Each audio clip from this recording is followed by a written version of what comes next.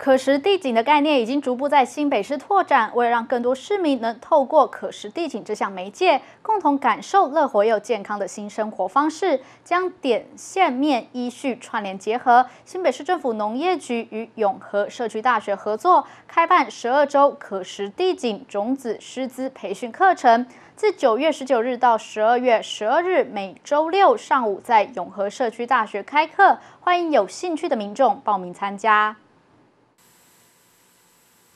市农业局景观处表示，这一次课程安排结合理论以及实务，由可实地景的理念规划到经营与展望等不同的层面，以及在生态农场进行的户外实习课程，循序渐进的培育出种子人才所需的相关职能。我们农农业局推动可实地景，哈，就是希望在兼具一些景当地的景观绿美化效果，以及可食用安心的食物产出，让又融合。呃，社区邻里呢，人的互相交流，所以说我们办这课程目的呢，就是希望说推广，让新北市有更多的地方呢，能够让让一些闲置或低度利用空间呢，可以来响应限制可食地景，然后来融合这些优点在你内发扬。景观处表示，可食地景就是在生活周边营造出可以吃的风景，以作物进行绿美化，创造生活空间的崭新风貌。采用兼具景观绿美化以及种植可以吃的植物，并融合社区共同参与的栽培方式，让人与环境、人与人之间的互动更加密切且贴近需求。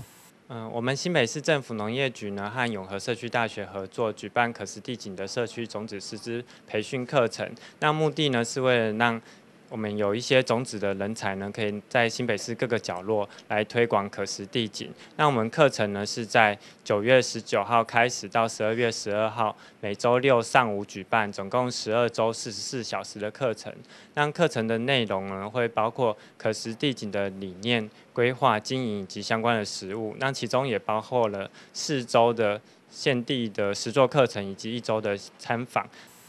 科长孙豪庭表示，招收名额有三十五人，一额满为止，而且需缴交保证金一千元。全程参与课程后将会退回保证金，欢迎民众踊跃参加。谢凤强，市府长报道？